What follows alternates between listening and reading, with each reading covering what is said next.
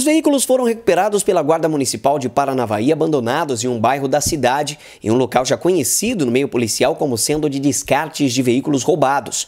Segundo a GM, os guardas estavam realizando um patrulhamento quando encontraram esse veículo Gol abandonado sem as quatro rodas.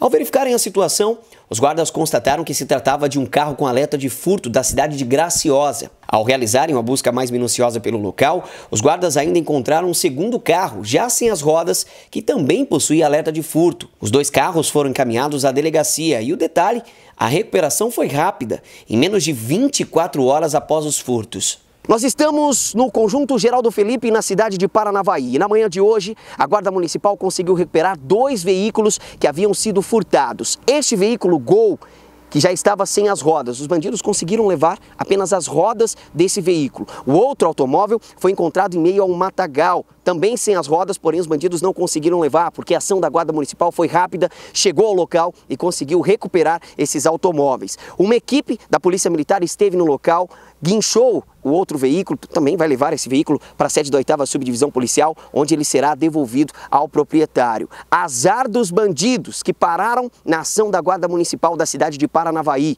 E sorte para os proprietários que terão os seus bens devolvidos. Então, Rodrigo, a Guarda Municipal fazendo patrulhamento é, num bairro aqui de Paranavaí, é, constatou um veículo com, sem as rodas, um veículo Gol, é, ano 93, sem as rodas, foi verificado a placa, um veículo alerta de furto.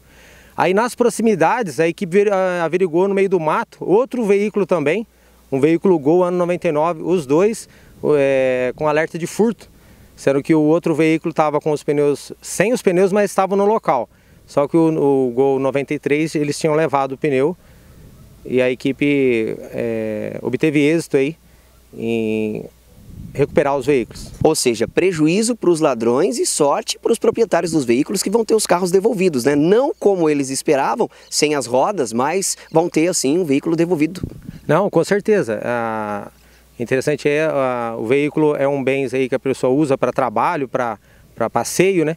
E o cidadão aí vem, faz o furto e deu sorte aí. A equipe aí patrulhou e encontrou o veículo aí para os cidadãos de bem. Esse local aqui é um local já conhecido pela Guarda Municipal, pelas, as, pelas forças policiais, como sendo um local de desova de carros furtados? Sim, geralmente a gente já patrulha com esse, com esse objetivo aí de encontrar veículos, motos, que já foram encontrados outras vezes, né? É, veículos depenados aqui nessa, nessa região.